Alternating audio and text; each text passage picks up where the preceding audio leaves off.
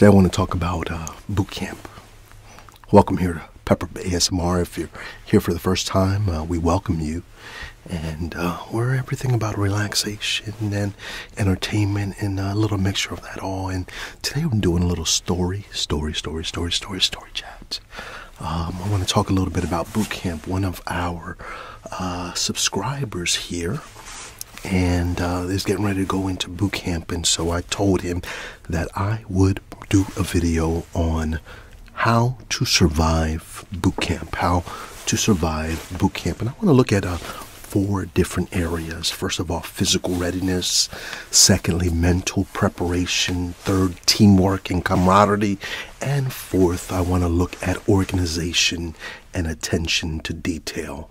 And uh, so let's just go back for a moment. Uh, myself, boot camp, going in for the first time and not knowing what to expect. Um, and most of the stuff that I did know about the military and about boot camp was found in movies. You know, full metal jacket and um, all, all, these different things that uh, depict uh, boot camp or your time in the military, etc., etc. So there could be a little bit of anxiety and fear and trepidation as we recognize that um, you're getting ready to go in and you don't know what to expect. So I want to give you just a few tidbits. First of all, let's look at uh, physical readiness. All right. Um, one of the things that I notice probably in every uh, company or every troop or whatever you want to call them um, is that in every company, boot camp company, there was always some one at least or more was not in shape at all. I mean, at all. With all the things that you have to be able to um, accomplish in order to be able to get in. I don't know. Every branch has different uh, requirements. You have to run mile in this or this and that, and uh, so even with all of those things, there were still people that got all the way to boot camp, and you're wondering, how did you even pass the basics to be here in boot camp? I want you to make sure you're not one of those. I want you to start right now preparing physical, physically, physically. Listen, listen. You're not going to do well if you have not been active, not been in sports, not understand those things, and then all of a sudden you are thrust into this new world, uh, and now you have to be have a physical. Uh, you have to be physically ready. You have to be strong. You have to kind of. There's some things that they don't want to teach you. You better know, and you better be ready you better have your cardio ready. Um, depending on which branch you're going to be in, you, you, I mean, each one is a little more stringent uh, and and and uh, challenging uh, than the other. You know, some are more challenging than others. I was in the Navy, and it was it was challenging, but I can't say, I, I mean, I can't compare it to Marines or the Army or or you know. So I, I don't because I don't know, but I would suppose that those were tougher. Um, and, and, anyway, I'll, I'll, I'll, talk about that in a little bit. Let, let me stay right here on this physical readiness. Cardio is going to be important. If I would suggest that if you're getting ready to go in, that you start at least three times a week cardio. Cardio. Uh, you might want to do it in stages. You might want to start on the treadmill, walking, jogging, running, and then running outside. And running on the treadmill is not, let me say this again running on the treadmill is not the same as running outside. So I would encourage you, I mean, if, if you need to take that uh, step approach, then go ahead and take that. Do it in stages and steps. Um, but if, if, if, if uh, you're ready to just go out and start right outside, go ahead and do that because you're going to notice it's a big difference between running on a treadmill and running outside. So you might be a treadmill warrior. But I guarantee you at boot camp, you will not be on a treadmill. I guarantee that. You're going to be running up, uh, outside, uphill, downhill on different types of terrain. So you've got to be ready. You got to get yourself ready. The other thing, start lifting some weights right now. All right. Cardio is important, but you need to also get your strength up. Get your strength up. What you want to do is make sure that there is nothing in front of you. I mean, it's already going to be challenging enough. But if you're out of shape, smoking cigarettes or something else if you're doing all of those type of things and you're getting ready to go into boot camp right now then um, you may not be ready. You may not be ready. And i, I guarantee, you you're going to suffer a whole lot more if you're not physically ready. So do that stretch um, and, and, and just get yourself ready for that. So that's the physical part of it. Physically. I'm not saying you need to be a top shape and you know muscles bulging and, and all that kind of stuff, but I'm saying especially cardio and just basic strength training. I would really encourage you to start before boot camp. Don't wait till you get there. You're going to be in some trouble if you are, right? So second, secondly, mental preparation, and this is probably the biggest one. I saw men who strong physically and all that, but mentally they broke and they went back home. This is what this is this is how I like to prepare people whenever they're asking me regarding boot camp and my experience and what they should expect. This is how I phrase it. Pretend it's a game. See, in a, in a game, yeah, you might get a little frustrated in the game and all that, but you recognize it's a game.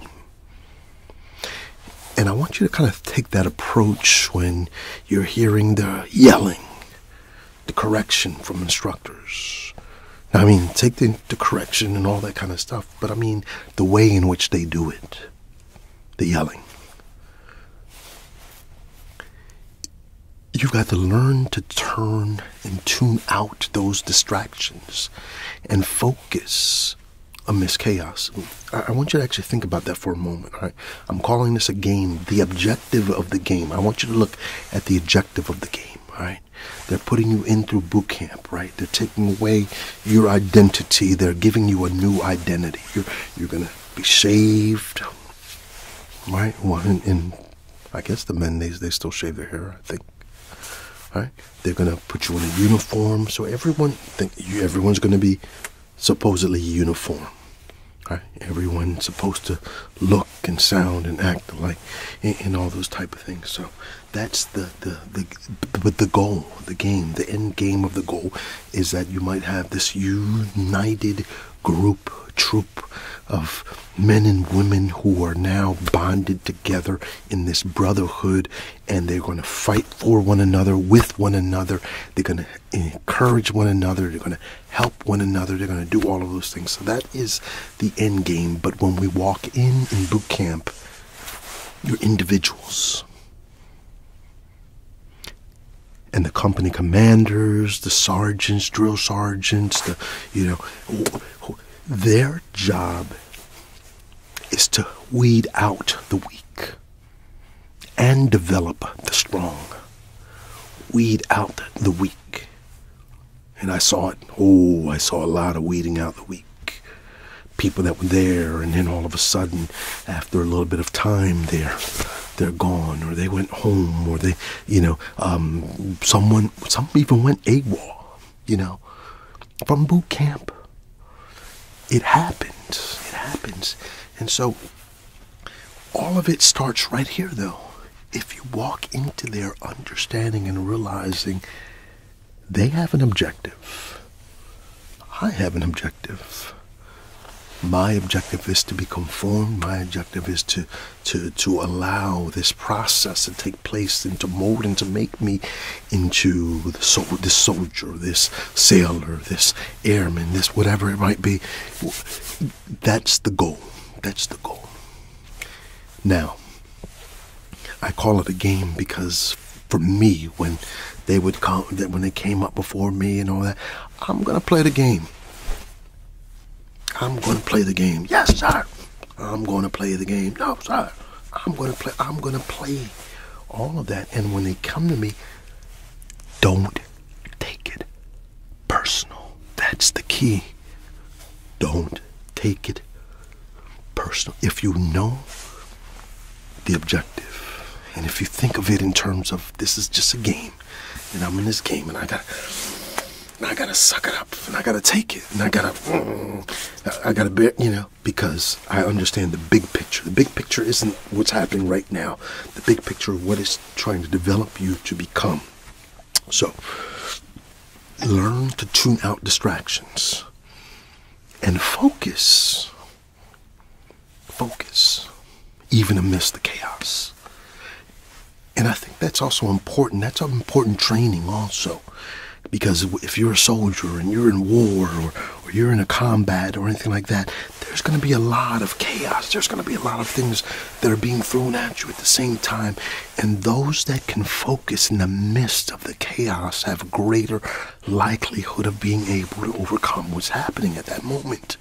But if you become overwhelmed, you see, you, you see now why these things are important. You've got to learn how, learn to tune out distractions, right? embrace. how do I put this? Embrace the suck. This sucks. Embrace it. Recognize it's part of the process. And change your mindset to thrive under this duress. Right? How do you do that? Do you, well, visualize yourself succeeding. Visualize yourself achieving and overcoming do some positive talk, self talk, even in the midst. You're sitting there right there.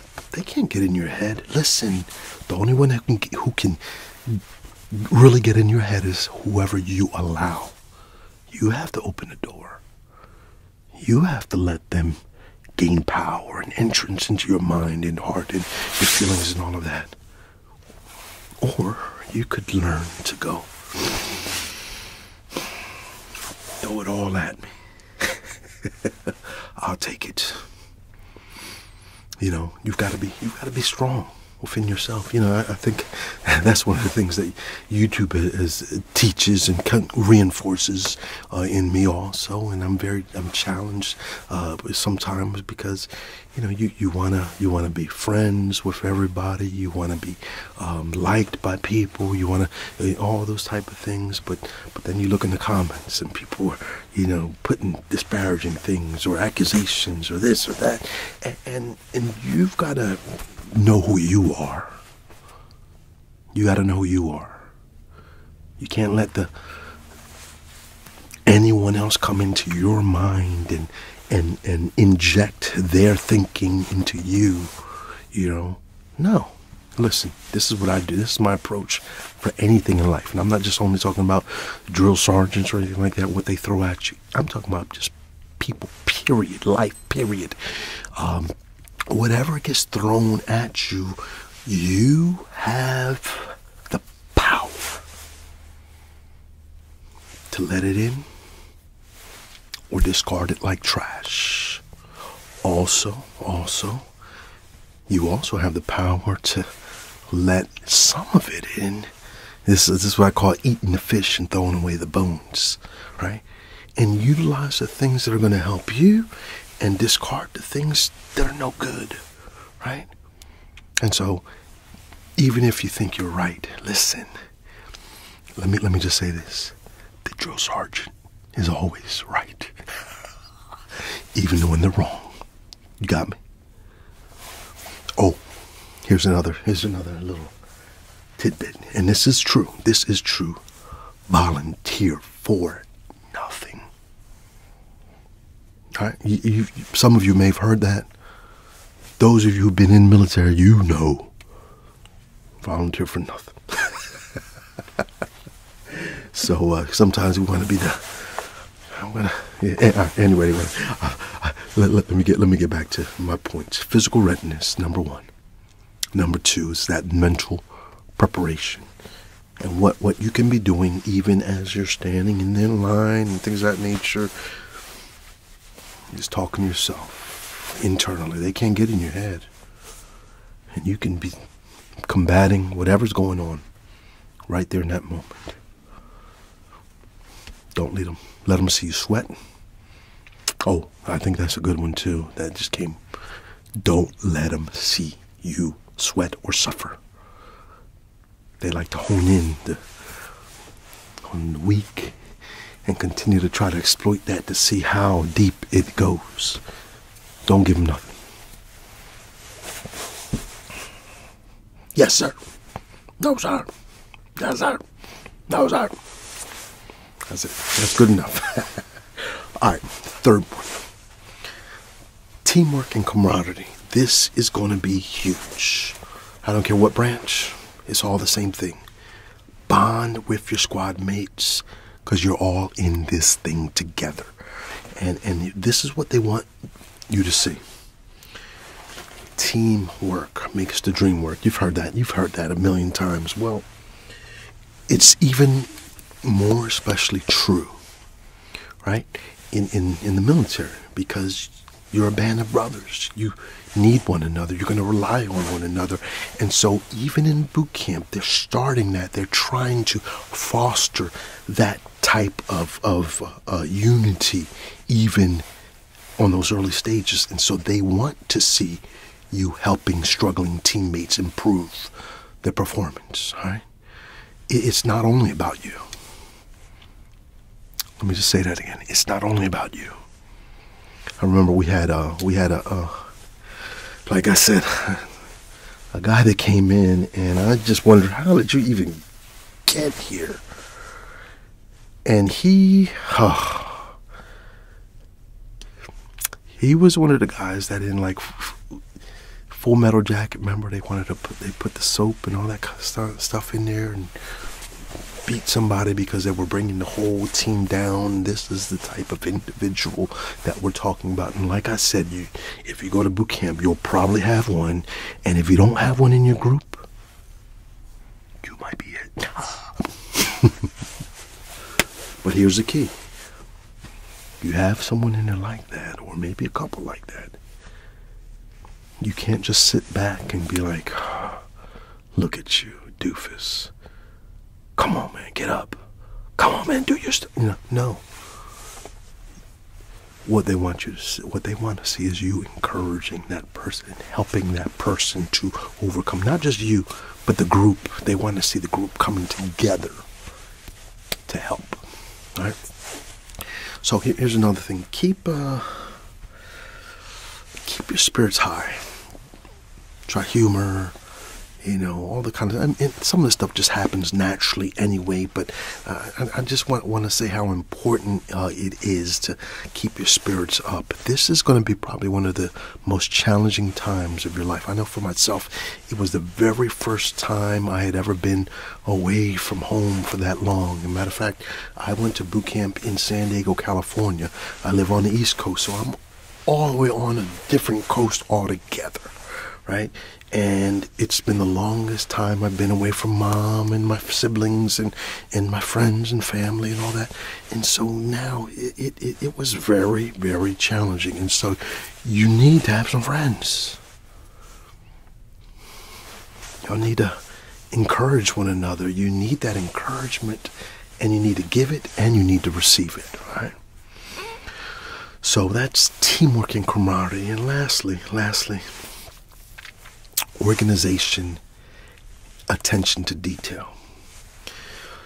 Listen, this is one of the things that they are going to be harping on you. Fold. There's a certain way that they want everything done. Folding needs to be done a specific way pay attention to details because details matter. Think about it once again as training for warfare. In warfare, the details matter. It could be the little things that determine life and death. It could be the little things that determine victory or defeat. It could be the small details that take you down or lift you up, give you victory, or bring defeat. Well, you know what? Let, let me add one more thing. I think is is really, really, really important. I mean, yeah, we're, we're talking about the details and finding, fine tuning things. Learn, learn to iron. Learn to, um, you know, make sure you you know how to do a bed and fix a bed. I mean, just little, things, but also learn to triple check things, double check things, etc., etc. Uh, don't get caught sleeping and slipping, all right? Because they will exploit those things, and someone will be in your face and yelling and saying something to you. And once again, when that happens, it's just a game. Receive it as just a game. Think about it. Look at this guy. He's doing a pretty good job as a drill instructor. He's doing a pretty good job. Or she. Or she, you know. All right. So, one more thing I want to share is about just taking care of yourself. All right. Uh, boot camp could be eight weeks. You know, I don't know how how long. What's the longest boot camp is? Whatever, but it could be a few months. All right, a couple months, a few months away. You got to take care of yourself. You got to take self care even while you're in. Um, some of the things I, I well, went to church. You, you get opportunity for church. Matter of fact, even if you're not religious, take the opportunity to go to church. Why? It helps you to get away from the group, and sometimes you just need to get away. So, you know, you pick somewhere to go and just go to connect, even if it's just connecting with yourself. Of course, you know, I'm, I'm a Christian, so I want to encourage you to go to Christian church, but that's not what this is about. This is about getting, finding a space for yourself too. All right. The other thing is drink water, eat. I know it's not going to be home cooking and all everything you want, but don't let yourself. I saw people who were so picky with food that they didn't hardly eat and they started wasting away. All right. Don't do that. Don't do that. Matter of fact, uh, usually, um, from what I remember, we were we were looked at to make sure we ate. Right? So, but everyone's probably not like that. But nevertheless, you take care of you. Self care is going to be so important. Personal hygiene, import. Listen, don't be the dude that's stinking. You know what I'm saying? Don't be that stinking dude that people, you know, because you got to get along with people. You're going to be in tight quarters with people. Don't you going to be, you know what I'm saying? So, um, take care of your personal hygiene because if not, you're going to hear it from the company commanders and you are going to hear it from your fellow soldiers. All right? Um, I think I'm coming to the end. I got all my notes that I had, I've got out, and I can't think of anything right now that needs to really be said that we have not already said. But um, I'll, I'll just say this: if if you're going in, or even thinking about going in, uh, if you have a question, put it in the comments below. If I can help, or someone here can help that's been through that, then go right ahead and, and uh, put that in for us. But uh, uh I just want to say congratulations. The I don't have his name right now, but I'm gonna put the put it right here. The one who asked me to uh, do this, or didn't even ask. He just said he was going into boot camp, and I said I would. Um, thank you for stimulating this conversation. I think it's an important one. I think hopefully it can be beneficial to so many other people that are contemplating going into the military. Um, I am thankful. I've, I've, served in the Navy. I have uh, two children who um, are, are in the air. Well, one is in the Air Force, one is already out of the Air Force. Uh, he he served his, his time, um, and one, you know, our daughter, she's she's actively a career career Air Force. Uh, and then I have another daughter getting ready to go into the Air Force. So this is a subject matter that's pretty hits pretty close to home. And so I'm thankful to be able to share this with you and hope that something was said to give you some strength give you some encouragement, give you some insight into this. If you have any questions, once again, put them in the comments below. If uh, you uh, anything else, you know, I I'll see you in the next video. Thank you once again for all your dedication to this channel. I'm so thankful and grateful for you all. God bless. Take care.